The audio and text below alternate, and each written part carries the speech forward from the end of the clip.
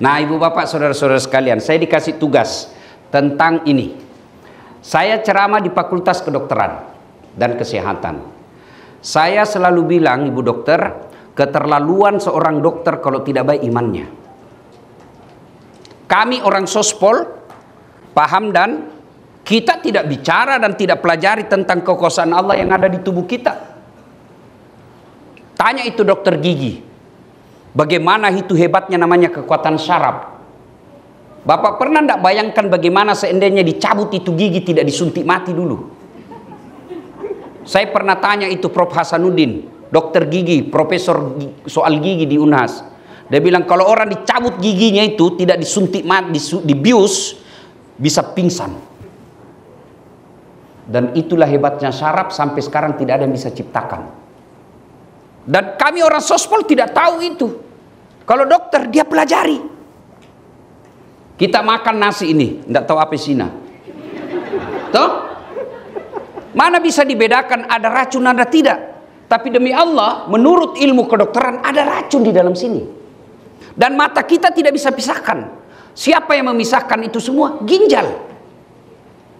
Kalau dia manfaat, dia distribusi melalui darah.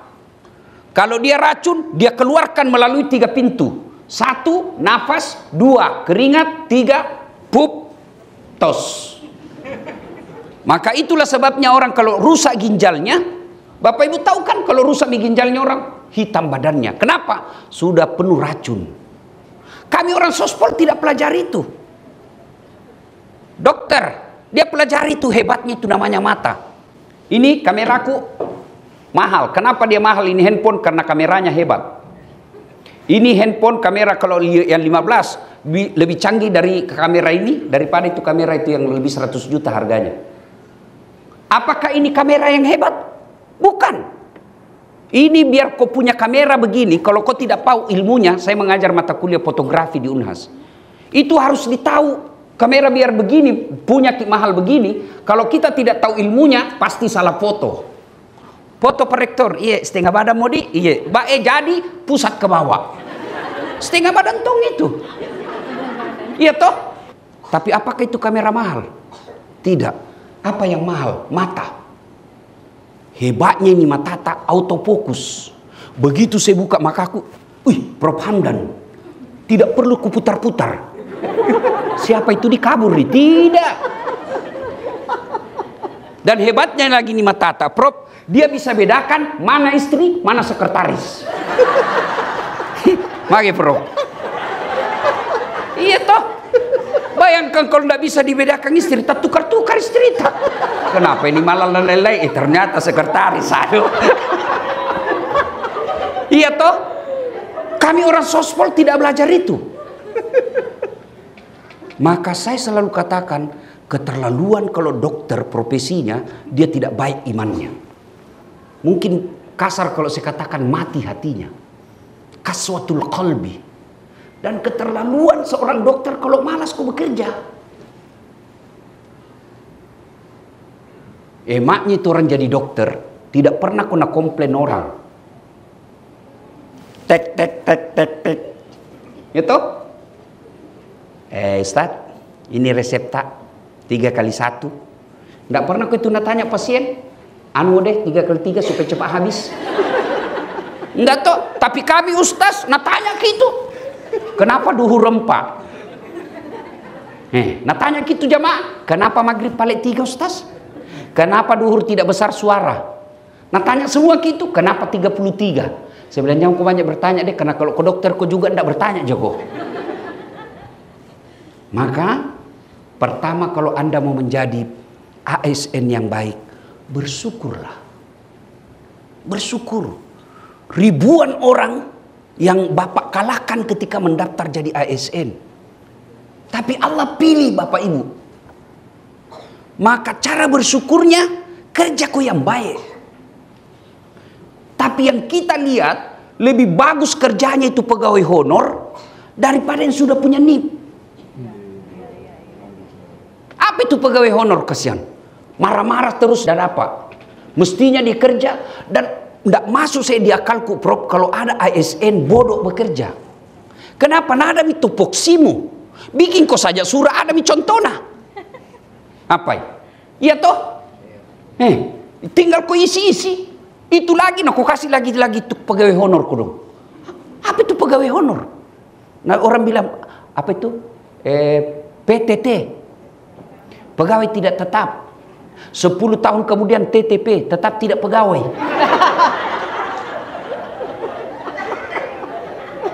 Maksudku saya tuh, kalau kau sudah jadi ASN, bersyukur kau dengan cara apa? Bekerja kau yang baik. Kenapa banyak ASN tidak bagus kerjanya? Karena dia bekerja bukan lillahi ta'ala.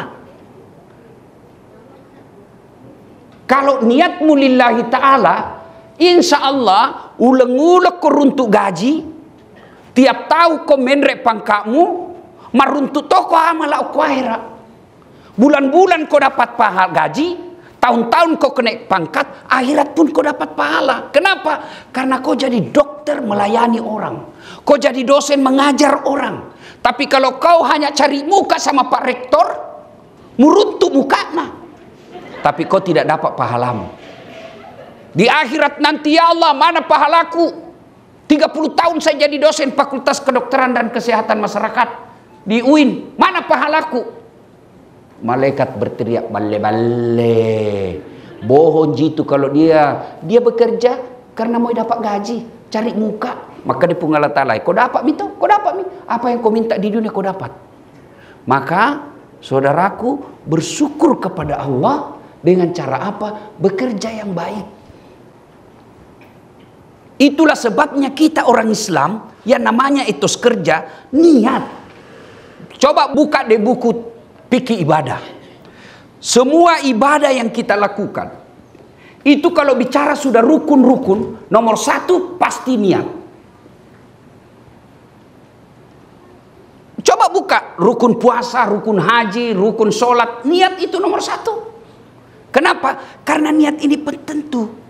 Itulah orang Bugis selalu mengatakan, pada cengi niatmu nak. Jak mucakkan niat. Kalau salah kau niatmu, capek kau bekerja. 30 tahun jadi ASN, tidak ada dapat akhirat. Begitu pensiun, mulai makin sakit-sakit. Gampang tersinggung. Kumpul mi semua penyakit. Tidak ada mi orang mau datangi ki. Ada mantan pejabat, Nabi bilang, deh dunia begini Ustaz. Di. Saya bilang, jangankan manusia, Pak. Kucing saja, kalau nak tahu tidak ada ikan di rumahmu, tidak masuk itu. Maka Pak Rektor itu banyak orang datangi ki. Waktu tak masuk rumah jabatan Pak, bu banyak orang datang. Tapi begitu nanti keluar ke rumah jabatan, kamu pembantu tidak mau miantar ki. Nah, kau niatmu cari muka, pasti kau stres. Tapi kalau niatmu lillahi ta'ala, bahagia. Tanya memang niat iko lo sapa, pungal ta'ala melo pakai sini. Maka orang yang bekerja lillahi ta'ala, dia mengajar baik, ya. Dia jadi cleaning service baik, dimarahi tidak tersinggung. Karena tong itu pegawai, dikasih pekerjaan. Sudah, sudah ibu, sudah pak, tinggal di print. Belum sudah namanya itu. Ketawa kok karena kok begitu semua.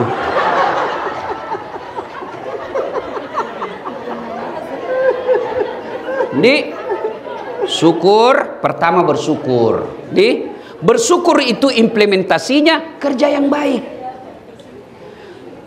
Kalau ada orang baik solatnya dan tidak bagus kerjanya, pasti ada masalah dengan solatmu.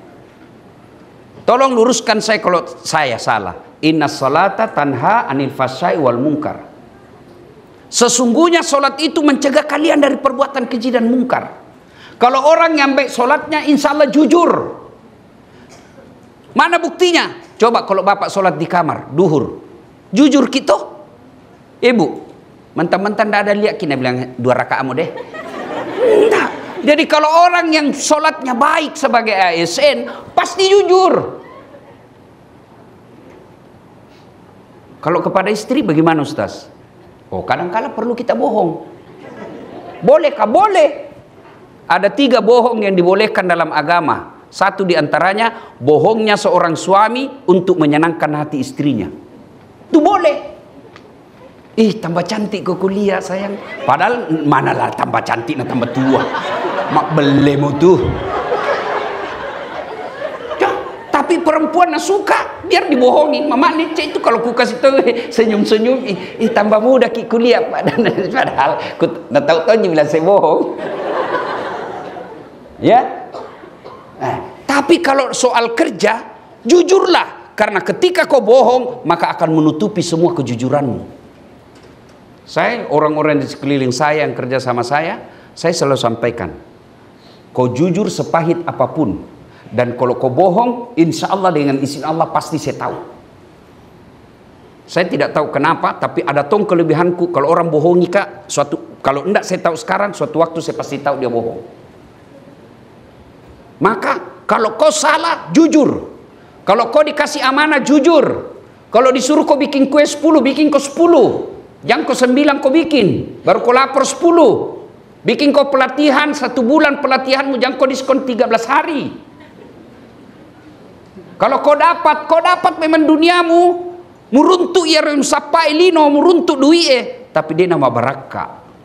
Kalau sudah tidak berkah itu kau punya hidup dalam bekerja, maka anakmu anak durhaka. Istrimu melawan. Ya? Jujur. Apalagi orang yang sholat. Pasti bersih. Mana buktinya orang sholat bersih? Tidak mungkin Bapak sah sholatnya kalau tidak wudhu. Kecuali dalam keadaan darurat. Tayamum. Jujur. Kemudian bersih. Kemudian disiplin. Orang yang bagus sholatnya pasti jadi ASN yang disiplin. Mana buktinya? Tidak mungkin kau sholat duhur jam 5. Tidak mungkin kau sholat subuh jam 10 pagi kecuali ketiduran.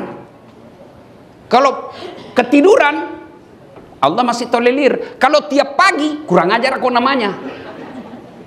Orang pasti disiplin. Ka, ini mau saja deh nilai-nilai sholat kau amalkan dalam sebagai ASN, insya Allah baik kerja. Apalagi yang dibutuhkan seorang ASN, fokus. Banyak orang gagal bekerja karena tidak fokus. Apakah betul orang sholat fokus? Iya. Mana simbol fokus dalam sholat? Kiblat. Orang kalau sholat harus cari ilmu syaratnya cari dulu. Kecuali dalam hutan tidak ada cahaya, tidak tidak ada sama sekali menghadap ke mana saja boleh. Maka ketika bekerja fokus.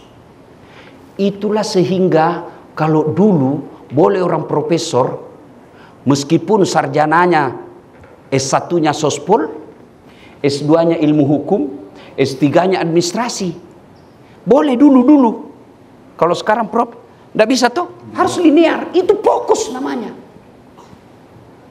Itulah sehingga dalam ilmu kedokteran ada tuh namanya spesialis. Fokus ki. Dokter umum dulu. Kurang pasien. ya, aku tahu jadi semua bila. Gitu? Nah, supaya banyak pasien, kita sekolah THT. Spesialis hidung tenggorokan. Kalau saya inilah dokter paling berjasa. Kalau buat saya. Karena ini tugasnya. Hidung tenggorokan. Karena biar jago ceramah kalau tenggorokan sudah bermasalah, tidak bisa nih. Saya pernah dapat, wallahulam benar atau tidak, Ariel Peter Pan itu sekarang dilarang menyanyi. Kalau saya tidak salah, saya dapat postingan. Kenapa? Pita suara suruh istirahat dulu. Penceramah juga begitu. Nah, maka saya selalu konsul ke THT. Telinga, hidung, tenggorokan. Mau lagi-lagi spesialis? Ada lagi khusus tenggorokan. Begitu juga dengan bedah kan? Ada bedah umum. Ada lagi spesialis lagi, bedah saraf, bedah tulang. Nah, itu semua fokus. Jadi bekerja fokus. Yang berikutnya, kalau orang bekerja mau sukses ini, jangan tak kebor, jangan tempo, jangan sombong. Tidak ada orang suka itu orang sombong pak. Jangan sombong. Kalau kita berbicara tentang ASN, ASN itu kalau dulu ASN itu disebut abdi negara. Batau namanya abdi negara hamba. Hamba, abdi negara. Dan Quran telah memaparkan, nah buka lebar-lebar mau itu Quran. Eh ini pelajaran bagi kalian hak abdi negara. Apa? Fir'aun. Yang kedua, Masita. Masita itu abdi. Fir'aun ini rektor. Bos. Paca, wali kota, gubernur, menteri. Ya, kurang apa Fir'aun? Hebat itu Fir'aun, cerdas, gagah, kaya, punya pasukan. Tapi karena takabur, sombong, Allah hinakan hidupnya itu Fir'aun. Mana buktinya Allah hinakan Fir'aun? Diharamkan masuk surga. Dia abadi dalam neraka. Karena dia sombongnya. Mana lagi laknat Allah bagi manusia zaman sekarang? Fir'aun manusia paling tinggi elektabilitasnya. Tidak ada orang Islam tidak kenal Fir'aun. Terkenal toh, satu dunia kenal. Tapi karena sombong, Allah hinakan. Mana buktinya? Tidak ada satu warga UIN mau kasih namanya anaknya nanti Fir'aun. Iya toh? Sebaliknya, Masita, abdi, abdi. Tapi karena dia baik, cinta kepada Allah, maka Allah muliakan hidupnya. Mana buktinya? Nabi Isra Mirat, Nabi mencium ada harum yang sangat luar biasa. Terpesona Nabi Jibril bawa apa ini harum sekali tidak pernah kudapat harum seperti ini di dunia Jibril menjawab itulah rohnya Masita dan keluarganya apa cukup sampai di situ tidak Allah lagi muliakan Masita kepada manusia zaman sekarang. Mana buktinya? Berapa banyak orang Islam namanya Masita. Maka kalau jadi dokter kok jangan takabur. Jangan sombong. Jadi rektor.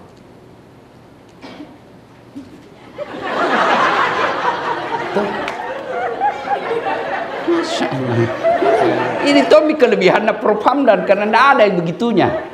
Dari luar negeri Nah kali momok mi bahasa Inggris ya. Eh. Tapi kalau ketemu orang merap apa se seolah se ya ciri khas orang Eropa welcome cocok nih hero bro Hah? Nah, orang Indonesia bilang familiar ini oge makada pasijingan biar bagus rumah tak tinggi sekolah tak tapi kalau sombong ki nah biar keluarga tak mau datang itu Hmm, mau biru mana? Macingkang. Jangan bulan be, tempo. Iya toh? Iya. Ada orang miskin rumahnya biasa, tapi setiap pengantin orang dari kampung ke situ semua bermalam. Tidak ada yang mau datang ke rumahnya keluarganya yang mewah. Jangan sombong. Dan mohon maaf, salah satu profesi yang selalu sangat susah saya pengalamanku pengalamanku. Sangat susah saya ceramai dokter. Apakah sombong itu pakai bajang mewah? Belum tentu. Apakah sombong itu pakai baju mahal? Belum tentu. Lalu apa itu sombong? Ulama mengajarkan dua karakter sombong. Satu menolak kebenaran, dua nganggap remeh orang lain. Itu masyarakat jahiliyah salah satu sebabnya dia dilaknat karena dia sombong. Kenapa Abu Jahal, Abu Lahab membenci Muhammad? Apa karena ajarannya Muhammad? Tidak. Tapi karena dia sombong. Apa itu Bani Hasim? Kata Abu Lahab, lebih mulia saya punya turunan daripada itu. Abu Jahal katakan bilang begitu. Abu Sofyan juga bilang begitu. Matandre ya, matandre iko uakmu. Iya peta. Iko uak. Hah? Kalau dalam Bugis. Itu kan sombong. Dan Bapak tahu, Ibu tahu, para dokter yang saya hormati, para dosen yang saya muliakan, salah satu dosa pertama dilakukan makhluk kepada Allah sombong. Ketika disujud, suruh sujud kan Jin, sujud kok. Kata jin. Saya tidak mau. Kenapa? Adam anak baru kemarin. Saya sudah lama. Ini yang dirasakan Prof. Hamdan. Tuh. Kenapa? Beliau rektor tapi masih muda. Dan saya yakin ada barangkali dosen beliau yang sekarang jadi anak buahnya. Tapi tidak boleh itu menjadi sebab kita menolak kebenaran. Orang Bugis bilang dulu di kampung, Nigatoi ko, wita mo pakoteme. Eh, apa hubungannya? Nigatoi ko lu. Eh, yolo kaman repet jeneiko. Nah bukan orang bikin coto ini. Maka salah satu karakter orang beriman itu dia menerima kebenaran siapa pun yang dia yang beritahu. Yang kedua, sifat karakter orang sombong itu nganggap remeh orang lain. Saya pakai baju misalnya krokodil, cap buaya. Yang itu prop kalau asli kepalanya menghadap ke dalam. Kalau palsu menghadap keluar. Dia menjadi buaya darat. Jadi, ya, saya pakai baju itu misalnya. Lalu apa saya sombong? Tidak. Kapan saya sombong? Saya tunjuk cleaning service. Eh, kau tahu jadi bajuku dek? 3 juta ini. Kau bajumu ada deh sangin cakar. Ah, itu sombong karena kau remehkan orang lain. Maka mohon maaf tak dampang nggak meraja Biasanya kita kalau sudah maki dokter, spesialis maki, pejabat maki, mulai itu. Dan itu memang pintu masuknya sombong kata Nabi empat. Satu, bertambahnya jabatan. Yang tadinya dosen biasa, tiba-tiba jadi rektor dua periode. Jantung kau lihat, Pak Rektor bukan ini yang ku masuk. Kau tuh prasangka buruk terus. Ah. Tuh? Nah, bertambahnya jabatan. Yang kedua, kata Nabi, bertambahnya ilmu. Yang tadinya biasa-biasa tiba-tiba jadi doktor. PhD dari Australia lagi. Itu? Eh, jangan apa yang kita mau sombongkan? Allah sampaikan wa ma'untitum minal ilm illa qalila. Dek wale kupat cek dek mi. Saya kalau ada ustaz sombong, eh, nak masuk di akalku. Nah saya ini bisa begini bukan karena saya jago pak. Pak Rektor bukan karena saya hebat. Tapi apa? Karena ada penontonku. Coba kalau saya di sini dua jam berapi-api. Tidak ada yang nonton kak. Lewat Pak Rektor. Lama misaki itu Ustaz. Yang ketiga. Penyebab datangnya sombong. Bertambahnya harta. Yang tadinya rakyat biasa miskin. Tiba-tiba dapat pembebasan tol Wah, langsung, langsung tanpa kaya. Jangan sombong. Kalau Allah marah, nah kasih ke penyakit. Uangmu 10 miliar, tapi Allah marah, kasih penyakit. Pikir di dokter, nah bilang dokter, Pak, selama Bapak bekerja ini, saya lihat tidak pernah kena kena matahari. Mulai besok di kalau bisa jam 7 atau jam 8 di kompleks tak keliling-keliling ke di supaya nak kena ki matahari. Jangan pakai baju di supaya nak kena itu kulit-kulit tak. Cukup mi di situ belum pi. Nabi bilang dokter jantung ki pakai celana panjang yang pendek mudi. Cukup mi belum pi. Nabi bilang jangki lupa di jangki pakai sendal jalan mi kasihan. Dari jam 8 keliling di kompleks tidak pakai baju pakai celana pendek tidak pakai sendal apa bedanya sama gembel? Apakah sudah cukup teguran Allah? Belum. Nah, lebih lagi dokter, Nah bilang pasti ngapa lagi? Dia bilang, eh pak ini saya lihat hasil lepta, eh, kita disarankan jangan makan nasi di. La haula wala quwata illa billah. Uangnya 10 miliar dilarangi makan nasi. Nah bilang miko dong, apa lagi dok? Jantung ki makan gula di. Apalagi dia bilang jangki juga makan garam. Kurangi minum susu. Jangki makan yang berlemak-lemak. Jantung ki makan yang pedis. Jangki makan ayam. Telur.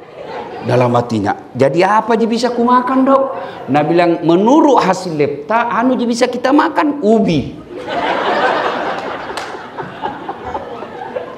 Apa semua ubi dok? Nah bilang enggak. eh, ubi yang warna uji bisa kita makan. La haula wala quwata illa billah. 10 miliar duina ubi bisa nak makan. Apa itu? Apa mau sombongkan dengan harta itu? Yang keempat kata Nabi bertambahnya popularitas dan kegagahan, kecantikan. Itu penyebabnya itu. Toh apa mau disombongkan dengan cantik? Ibu dekan, cantik dilihat sekarang. Tapi 70 tahun biar pergi kau di apa kan namanya itu bleaching apa kan namanya itu itu ya.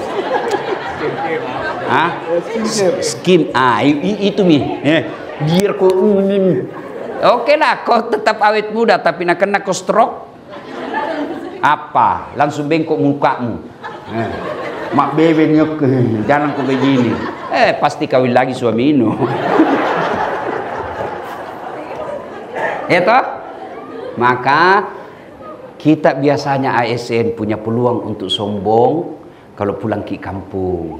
Ih tahu wah, pegawai nak nala baca. Kege mak jama o korektor uin.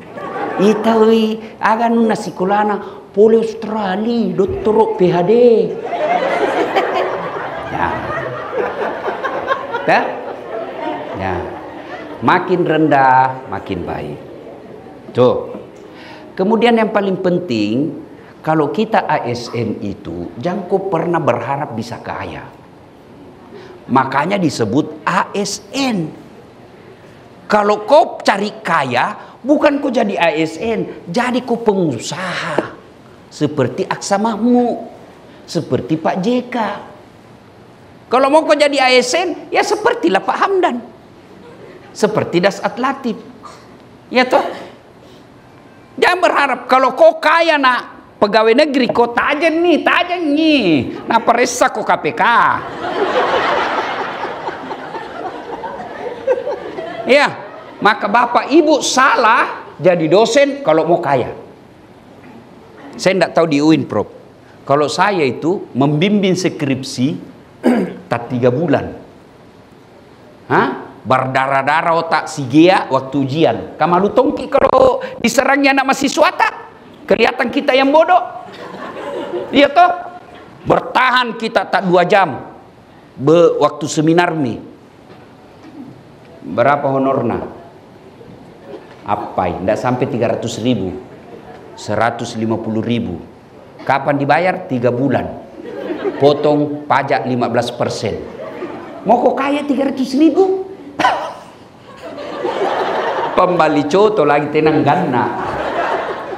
Ah, tapi kata Allah walai ta'esu min rauhillah. Jangan peturenu. Jangan putus asa. Jangan cari uang di sini, tapi cari kau uang di tempat lain. Orang biasa curiga, kenapa Ustaz bisa bangun masjid begini, begini, begini, mobil mewah-mewah. Jangan salah, satu banyak temanku orang kaya.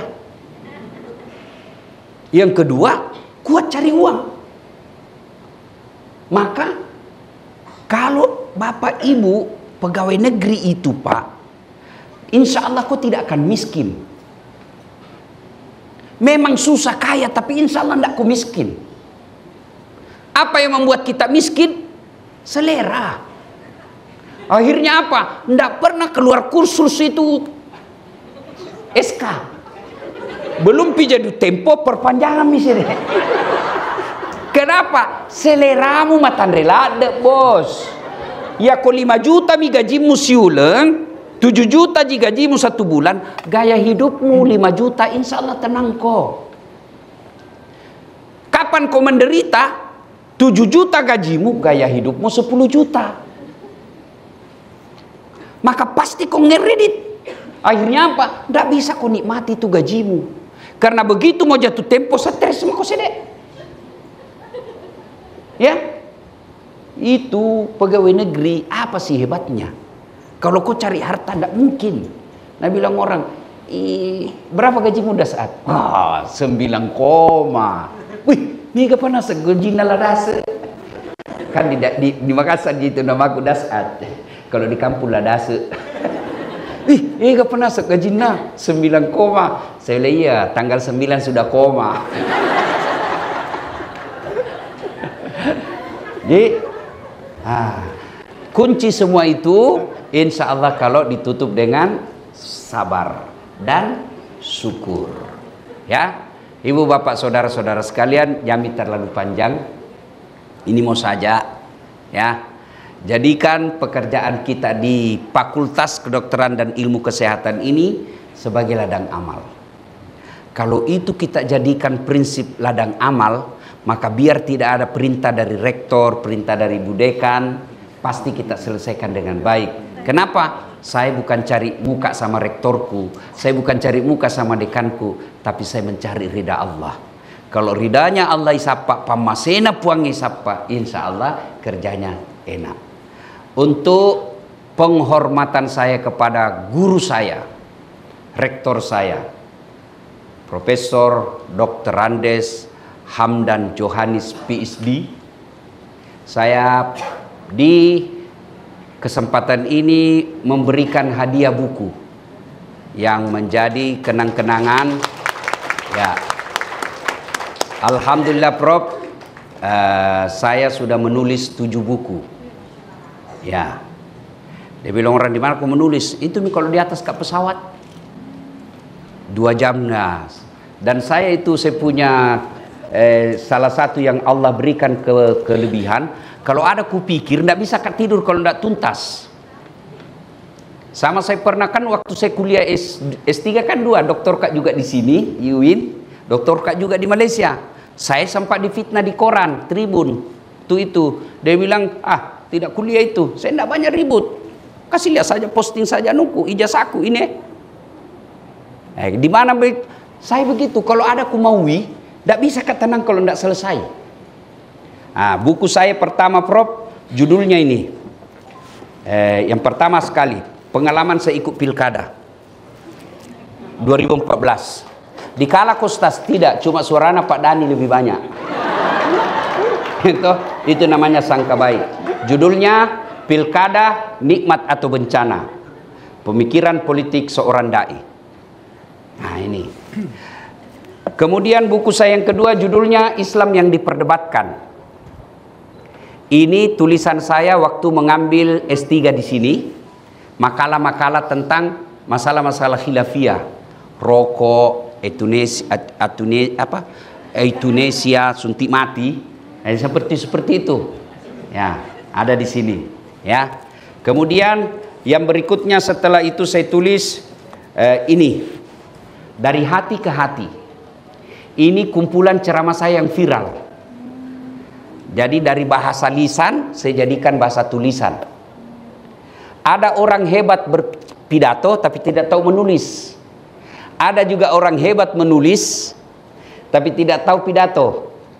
Alhamdulillah barakatnya puangnya. Eh, saya bisa menulis, bisa juga pidato. Nah, ini judulnya dari hati ke hati. Ini ibu-ibu dosen, ibu-ibu dokter, pak dokter, kalau ada anak tadi pondok mau belajar pidato, di sini naskah-naskah pidato. Saya kasih ya. Kemudian buku saya berikutnya adalah ini. Media sosial suatu alternatif. Bagaimana itu media sosial bisa menggantikan media surat kabar.